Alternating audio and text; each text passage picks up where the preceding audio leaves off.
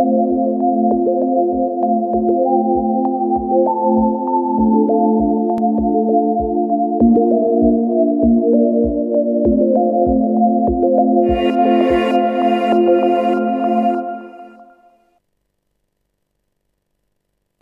găsit, dragii mei, din nou la Pagini de Lumină. Mă bucur că ați ales să fiți cu noi și în seara aceasta. Sunt Narcisa Ispas și vă invit să ne rămâneți alături pentru o oră de discuție.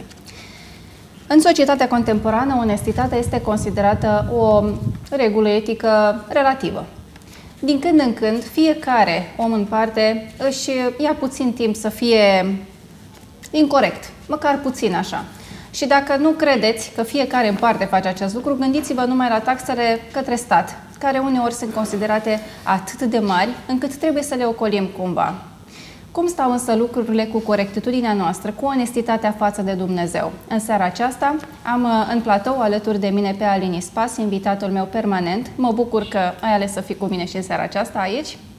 Bine te-am găsit. Și pe domnul pastor Emil Meștereagă, pastorul studenților de la Institutul Teologic Pentecostal. Mă bucur că ați găsit timp să ne fiți alături. Bucuria este a mea. În seara aceasta avem o discuție care cu siguranță va atrage păreri contradictorii din partea unora și altora. Și anume, ce este onestitatea? Domnule pastor, mai este onestitatea la modă? N-a fost niciodată la modă. N-a fost niciodată la modă pentru că a fi onest înseamnă a uh, îndeplini cu consecvență uh, cele care îți sunt uh, atribuite da, în, de către autoritate, de către cei care uh, sunt în autoritatea ta. Și din totdeauna încercarea noastră sau în natura noastră există încercarea aceasta de a ne eschiva de la a face ceea ce, a îndeplini ceea ce autoritatea ne cere. Și dacă e vorba să vorbim, niciodată n-a fost la modă. Da. Și probabil nu va fi la modă. De ce? Pentru că nu-i din lume. Dacă cu sensul ăsta folosim moda, în conformitate cu lumea, nu e din lume. Onestitatea e de sus, e de la Dumnezeu, da? și odată cu căderea în păcat, oamenii au pervertit și aceasta. Și totuși nicio societate nu poate rezista, nu poate dăinui, fără măcar uh, un dram de onestitate. Așa Alin, este. opinia ta care este? Nu este la modă pentru că a fi onest înseamnă să pierzi, pe termen scurt. Am uh, la mine două exemple uh, cu adevărat delicioase. Unul dintre ele este proprietarul Zappos, marele lanț de magazine sau marele site de încălțăminte, uh, Tony Shea. Pe site-ul acesta, la un moment dat, în 2010, luna mai, uh, dintr-o eroare electronică, uh, produse de mii de dolari s-au vândut la prețul de 49,95. Ce face o firmă în cazul ăsta? Au fost mii de oameni, mulți oameni care au cumpărat. Uh, declarația de la Zapos a fost, uh, deși uh, suntem convinși că a fost o, o mare afacere pentru clienții noștri, totuși nu ne-am dorit-o, pentru că ne-a costat un milion și 600 de mii de dolari. Cu toate astea, o să onorăm și ne cerem scuze pentru inconvenient. Deci oamenii ăștia dintr-o greșeală au pierdut 1.600.000 de dolari și au spus e ok. Puteau să zic că a fost o eroare. Nu vă onorăm comenzile. Erau la ei cu orderele, comenzile. Uh, de asta Zappos este ce este. De-aia Tony Shea este ce este. Uh, un alt exemplu, și termin repede, este un alt uh, afacerist mare, proprietarul unei companii uriașe, care um, făcea negocieri pentru a prelua o altă companie și negocierile erau grele, însă se ajungea într-o direcție bună când celălalt proprietar Uh, a trecut printr-un moment emoțional dificil. Uh, soția sa a fost diagnosticată cu cancer și a murit în timpul negocierilor. Negocieri de la care celălalt putea să mai obțină încă 200 de milioane de dolari, dar s-a oprit și a spus era un moment dificil pentru colegul meu, pentru partenerul de discuții și sigur, dacă aș fi obținut, aș fi obținut pe baza uh, energiei sale emoționale și n-am făcut-o. Oamenii ăștia există între noi astăzi, dar funcționează sub o altă paradigmă așa cum am mai spus, nu este paradigma lipsurilor. Trebuie să pun mâna repede că dispare, ci este paradigma abundenței. Și ei nu se chinuie să se îmbogățească, de asta sunt onești, pentru că ei nu au ce să piardă, ci se chinuie să rămână credincioși față de conștiința pe care o au și pe care probabil au primit-o de la părinți din educație. Întrebare. Este această însușire morală ceva care vine prin naștere? Este genetică? Nu, din potrivă. Asta spuneau, că de aceea nu e din lume, în sensul că de ne naștem, uitați-vă la copii. Au tendința să-și însușească și este a lor, nu este a lor, aceasta nu li s-a dezvoltat încă simțul uh, proprietății, doar uh, cel al uh, uh acapărării uh, este al meu. Da, nu i-a spus nimeni, nu a lucrat, nu l-a plătit, nu l-a, dar crede că este al lui. Uh, eu cred că se vede limpede că unul dintre efectele căderii a fost asta, încercarea de a ne însuși ce nu ne aparține și, așa cum spunea și domnul pastor, lipsa de onestitate vine din încercarea noastră de a, de a ne număra cele pe care le posedăm repede și de a ne socoti împliniți după ce ne dă la socoteala aceea. Da? Fără să gândim că, de fapt, este, viața este un ansamblu de valori uh, și că dacă nu ținem seama de aceasta, ea se va dărâma ca un uh, uh, palat de hârtie, cărți. de cărți pe care noi l-am făcut. De ce unii oameni sunt mai inclinați către a fi onești? Nu vorbesc despre un copil care are simțul doar proprietății personale bine dezvoltat și nu al proprietății celorlalți, ci despre adulți. Uh, unii mult mai ușor sunt onești, parcă vezi în ochii lor tot ceea ce se întâmplă, însă alții sunt atât de ascunși și atât de bine știu să aranjeze lucrurile în favoarea personală, încât ți-e frică să intri în legătură cu ei. Uh, care este secretul? Cum să înțelegem? În primul rând, eu cred că pot să fie onești și corecți doar cei care cred că îi favorizează. Dacă nu poți să ajungi să crezi că onestitatea și corectitudinea este în avantajul tău, nu vei reuși să fii corect. Da?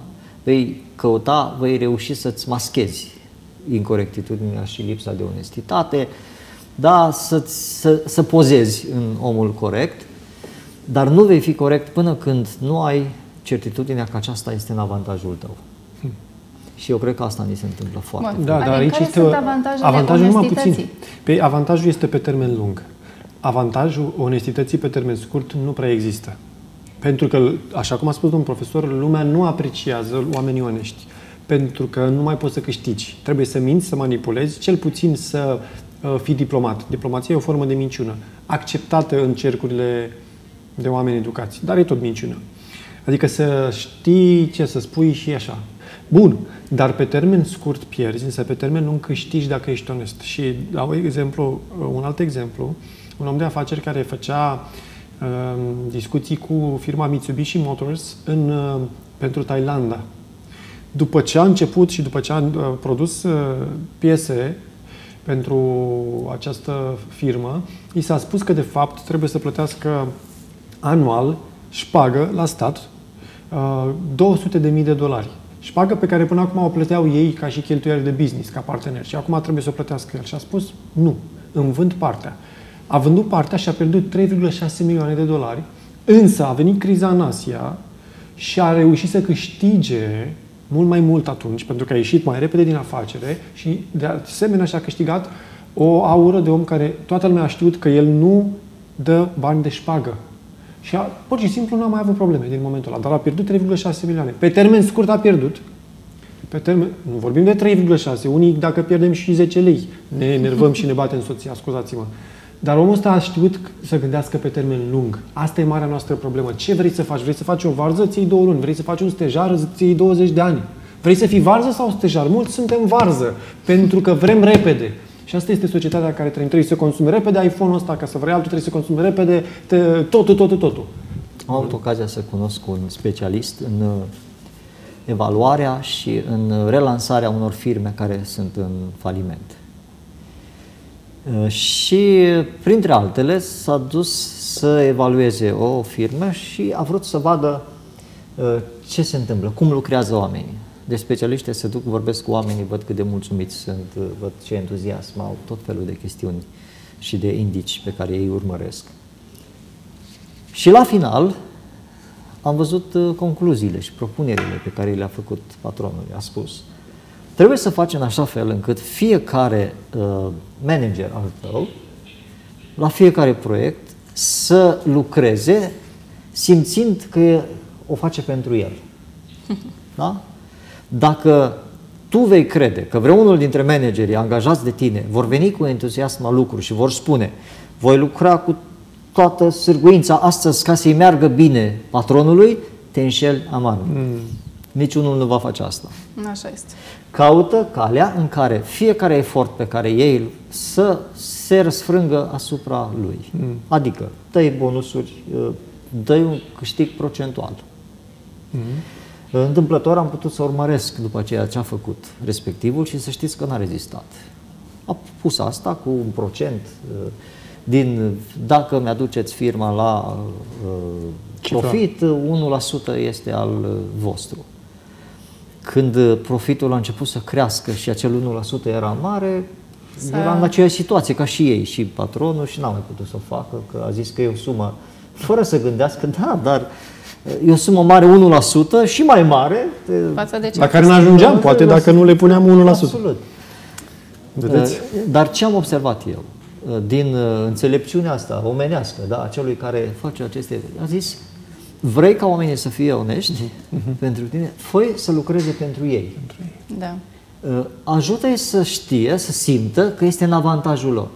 Ăsta e motivul pentru care eu cred că principalul factor care îi face pe oameni să renunțe la onestitate este uh, necredința că ascultând ceea ce spune Dumnezeu, este. corectitudinea și onestitatea, îți aduce ție avantaj. Da, să știți că bine. aici, domn profesor, văd o vină și pe așa numite curente religioase care pun asupra creștinului o aură de întuneric. Creștinul să sufere, el să primească 10 palme, să întoarcă toți obrajii din lume. Când Domnul n-a spus așa că doar asta va fi un creștin, o viață sumbră, tristă de călugărie, ci Domnul ne promite viața din belșug, nu? Cum am putea să facem să scăpăm de capcana acestui creștinism trist, cu față de măgar? Foarte simplu. Exact în același fel, știind că, de fapt, Domnul nostru a venit să ne aducă viață.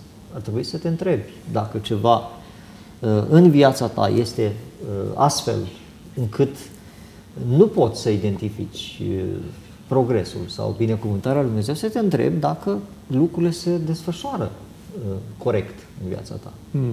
Pentru că eu cred că multe dintre aspectele vieții noastre sunt rod al incorectitudinii da. anterioare. Oricât de mult încercăm noi să dăm vina pe guvern, foarte multe sunt rod al incorectitudinilor noastre. Noi am fost incorecți, începând cu noi înșine. Am fost incorrect cu noi și ne-am lăsat să credem că uh, calitatea vieții înseamnă să ai mult. Mm. Atunci ești cineva dacă n-ai fost incorrect cu tine și n-ai putut să simți și să vezi și să crezi că nu în asta constă calitatea vieții, ci în a fi mulțumit cu ceea ce ai. În a ști Am... să uh, folosești în favoarea calității vieții tale ceea ce ai primit, nu a pune la cec sau a strânge nu știu unde, când viața ta nu are niciun fel de avantaj din uh, profitul tău, din ceea ce iei tu. Am citit o știre care m-a impresionat foarte tare. Era vorba despre o tânără de 33 de ani în Statele Unite care făcuse foarte mulți bani uh, dintr-o meserie proscrisă. Uh, fusese producea filme pentru adulți. Uh, femeia aceasta, la un moment dat, din cauza goliciunii sufletești și a neajunsurilor pe care le avea din interior, pentru că exterior stătea foarte bine, avea cluburi de noapte, avea mașini vreo șapte, vile și așa mai departe. A renunțat la tot ce avea și a devenit pastor. Acolo există această opțiune. A îmbrățișat creștinismul așa cum a știut și a putut ea și fericirea ei se poate citi pe chip. Dacă femeia aceea frumoasă s-a dus, uh, de ecran, de sticlă s-a dus, acum uh, apare altă femeie care este într-adevăr fericită și se vede pe, pe chipul ei uh, satisfacția sufletească. A dat deoparte orice necinste, orice lipsă de onestitate și a devenit altceva. M-a impresionat foarte tare.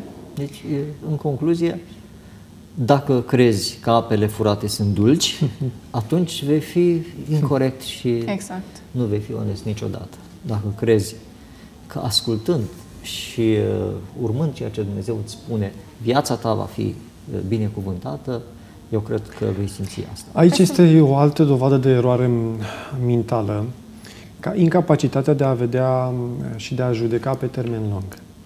Pentru că suntem prinși în istoria cotidiană de zi cu zi, noi nu avem puterea să ne uh, ridicăm deasupra și să analizăm rezultatele și consecințele.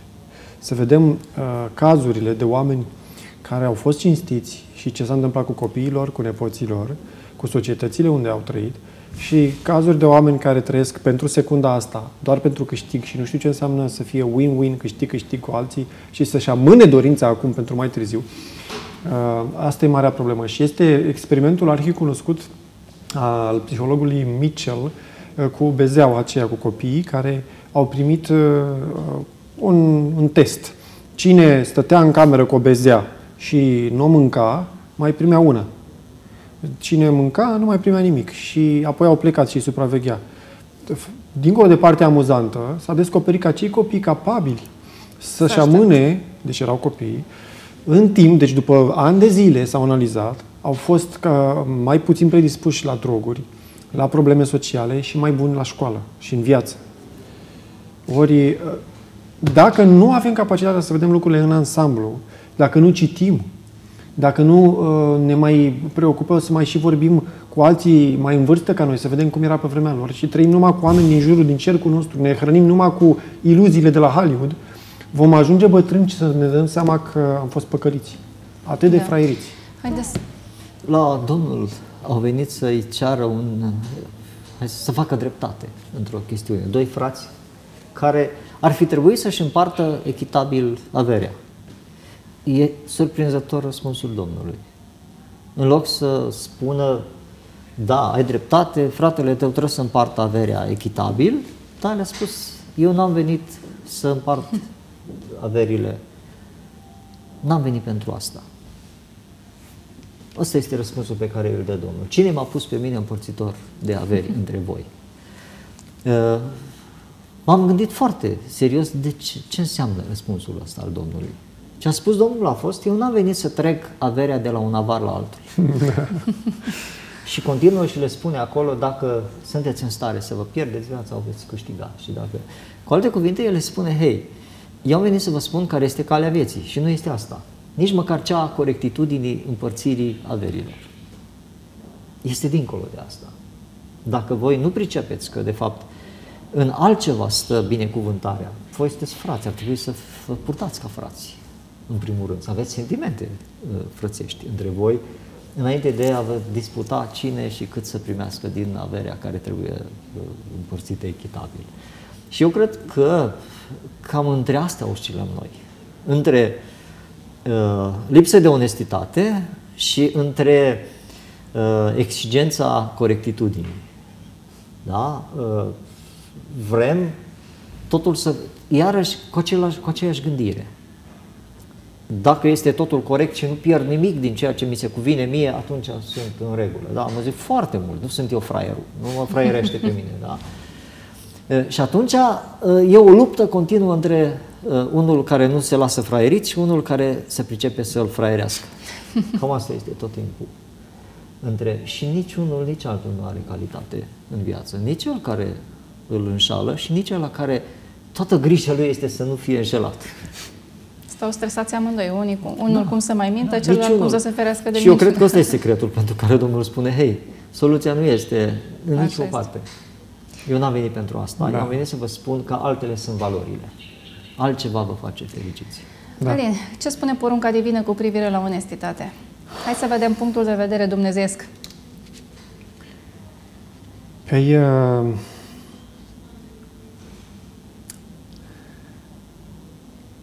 În primul rând, datoria este pe două planuri. Cele 10 porunci împart datoria față de Dumnezeu, față de divin, în aceeași proporție cu datoria față de semeni. Și asta înseamnă că atunci când eu sunt în bune relații cu divinitatea, cu autoritatea supremă și sunt, mi-asum rolul de administrator, de gestionar, de ispravnic, în termeni Cornilescu, atunci beneficiază și lumea din jurul meu, de pe urma mea. Nu poți să pretinzi că ești credincios dacă în jurul tău este deșert. Familia ta, finanțele, starea de sănătate, rudele tale, societatea în care trăiești, dacă nu sunt locuri mai bune în urma prezenței tale, nu zice nimeni să fii inventator, premiu Nobel, dar se vede pe unde treci tu, chiar și dacă ești măturător de stradă. Când ești în relații bune cu Dumnezeu, în sensul onestității și dai lui Dumnezeu ce este al lui, 10% din timpul tău, dacă ar fi să zeciuim timpul, 10% din banii tăi, cum spune Biblia, din, să-i dai lui, adică tot timpul să recunoști autoritatea lui, nu într-un sens să-ți fie frică. Dacă nu-i dau lui Dumnezeu, da, am căzut. Nu, nu, de multe ori se întâmplă cum spune Psalmul 73 că aia la alții care nu-i dau lui Dumnezeu prosperă. Deci nu de teamă să-i dai lui Dumnezeu, ci din recunoștința că, și din acceptarea faptului că El este suveran asupra ta. Și mă refer aici la recunoștință, nu în special la zecime, că acolo o dai pentru că e a Lui, ci în special mă refer la recunoștința darurilor pe care le dai zilnic. Dar ideea este că dacă nu faci lucrurile astea, suferă și lumea din jurul tău, și copiii tăi, și tu, psihicul tău. De aceea, porunca divină îmbină uh, supra, sau dimensiunea verticală cu cea orizontală. Onestitatea față de Dumnezeu cu onestitatea față de oameni. Da, și cred că dacă m-ai întrebat care e ordinea, ce vine întâi? Simțământul spiritual sau educația morală? Eu cred că și ambele pot să fie, dar primordial în familie ar trebui să învățăm și de acolo să dezvoltă și instinctul spiritual. Frumos spus. Eu am crescut într-o familie în care n-am știut că tata ia salariu. Până când am învățat la școală treaba asta. Fantastic. Pentru că tata ne spunea, dacă aveam o nevoie, rugați-vă lui Dumnezeu și el, dacă știe că aveți nevoie și că acum e timpul în care să aveți, vă va da. Mai târziu mi-a dat seama că el ne cumpăra când noi ne rugam. Nu? Moș Crăciun.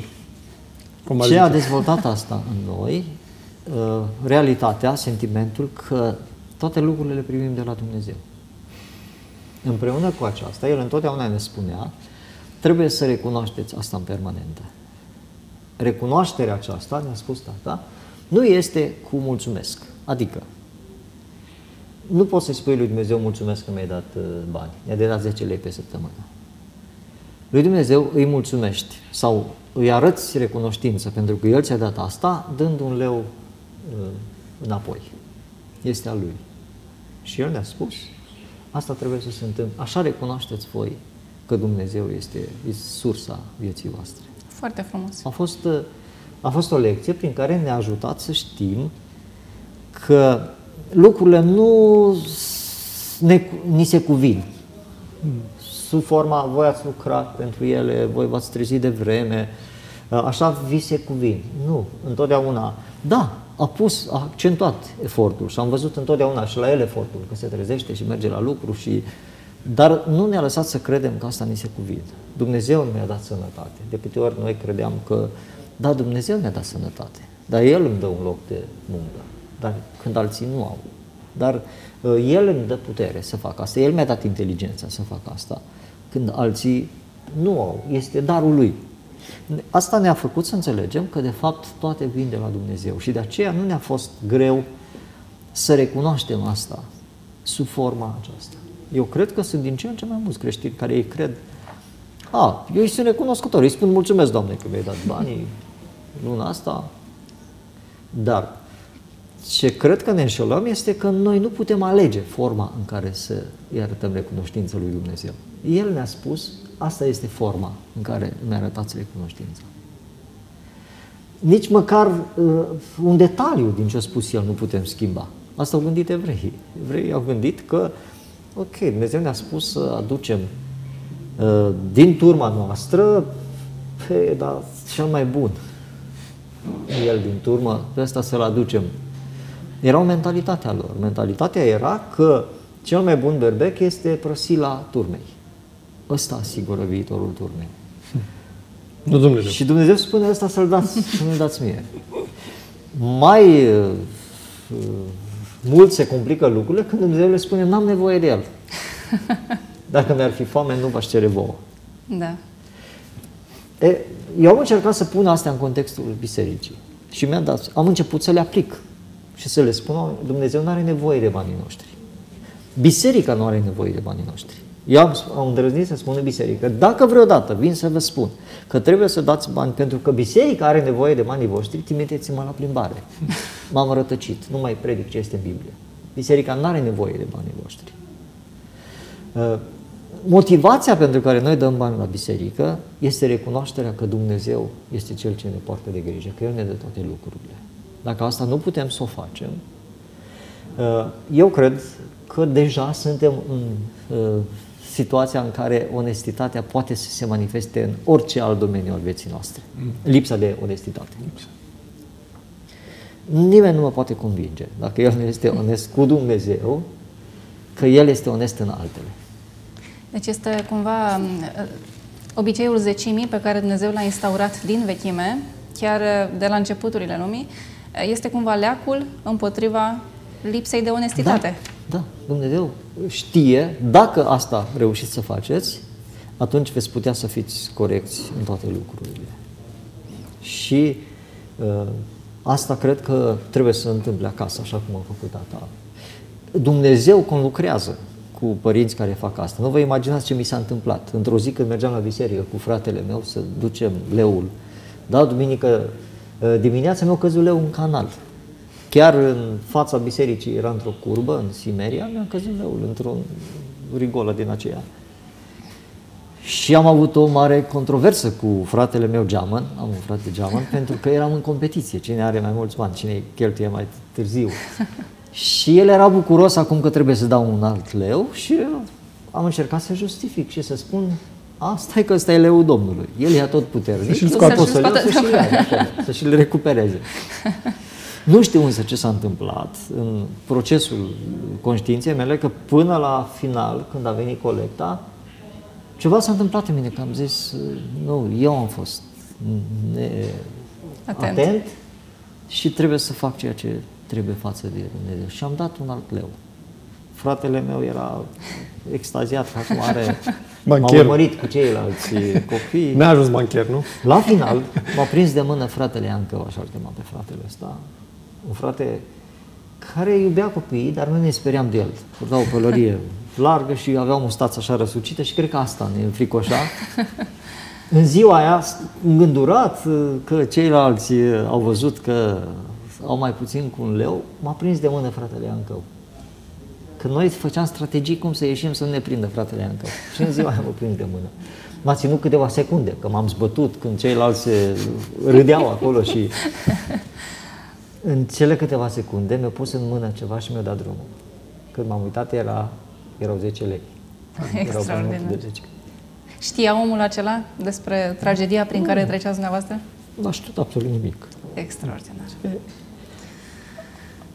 Eu cred că dacă noi uh, punem asta în inima copiilor noștri, Dumnezeu găsește calea în care El ne dovedește. Cu siguranță.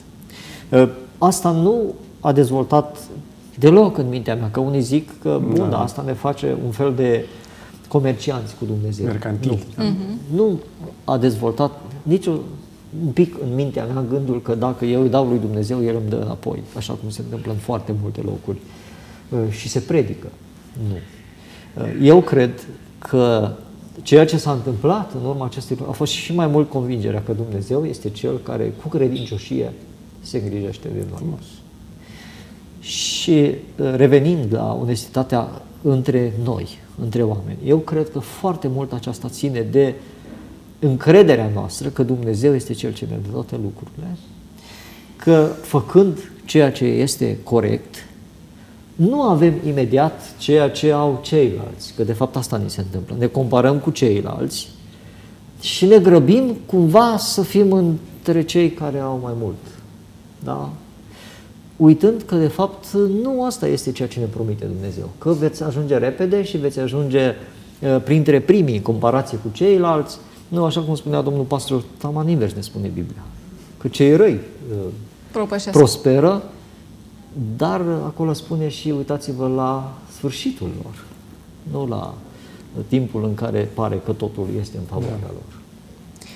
Ce legătură există între zecime, practicarea zecimii și a dăruirii sistematice față de Dumnezeu prin biserica, uh, ceea ce este trupul vizibil, să zicem așa, al uh, divinului în lumea noastră, și legea și păstrarea legii?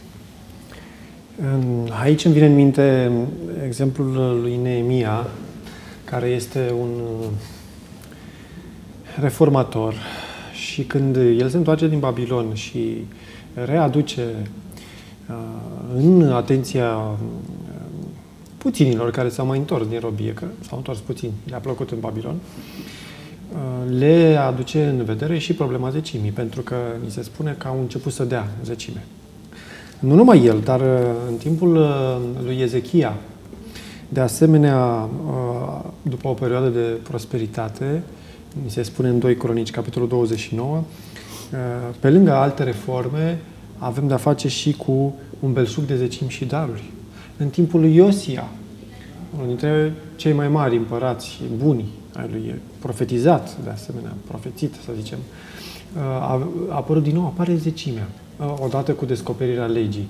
Deci, aproape că fără să ne dăm seama, când citim despre păzirea poruncilor lui Dumnezeu, din dragoste, nu din interes, apare și acest um, mister, să zic așa, nu e mister în sensul religios, teologic, dar acest uh, element al uh, recunoașterii autorității suverane. Dai uh, Domnului ascultarea care se cuvine dovedind că asculți față de autoritate mai mare decât tine, uh, în care, practic, practică ce se întrepătunde cu viața ta de zi cu zi. Pentru că vedeți aici ce mare diferență, această dihotomie. O zi merg la biserică sau la sinagogă sau la ce merg eu și în timpul săptămânii îmi fac treburile cum mă pricep eu mai bine. Dar da. nu asta vrea Dumnezeu. El vrea să fie via, traga viață ca o jertfă vie sfântă. De asta zecimea care este un aspect ce ține de cea mai profundă și cea mai sensibilă discuție a noastră, banii, cât câștigi și cu așa, ă, asta, acest aspect este pus deoparte de Dumnezeu. Asta reflectă celelalte zile. Da? Că zile, celelalte zile pentru asta ai da. lucrat. Și și acele zile pot să fie ale lui Dumnezeu sau dăruite lui Dumnezeu dacă noi recunoaștem că El este Cel care ne-a dat puterea, El este Cel ce ne dă da. Uh, toate resursele, așa încât să putem să uh, trăim siguri că El ne va purta în viitor. Că, iarăși revenind la foarte mulți își spun întrebarea și zic, da, voi puteți să vorbiți uh, cu ușurință că aveți ce să, mâncăm, să mâncați. Dar dacă n-ați avea ce mânca? Dar dacă uh, ai trece printre teșghelele cu bunătăți și tu nu ai nici un leu ca să-ți cumperi ceva. Și singura ta cale să supraviețuiești este să găsești unul neatent și să șterpelești unul. Da? Cam asta este ceea ce uh, se întâmplă în inima celor care n-au ajuns să aibă parte de binecuvântarea lui Dumnezeu, ca și alții, dacă de fapt asta este problema. Toți avem parte, numai că ne comparăm și zicem nu avem ca și ceilalți. Ce faci atunci? cum uh, ar trebui să rezolv asta. Dacă sunt onest, uh, da, mă duc și nimeni nu... Eu cred că aici trebuie să uh, ne încredem în Dumnezeu. Au fost atât de multe situațiile în care Dumnezeu pur și simplu a făcut un izvor de apă într-un loc pustiu.